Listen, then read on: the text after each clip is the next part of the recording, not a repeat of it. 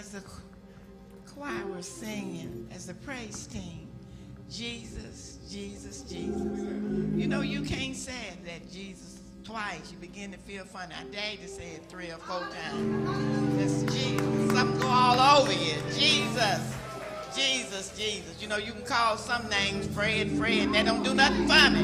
But when I said Jesus, the man from Galilee, one walk the water, does something to me. I appreciate that. We thank you got us on a good start this morning. Jesus, Jesus, Jesus.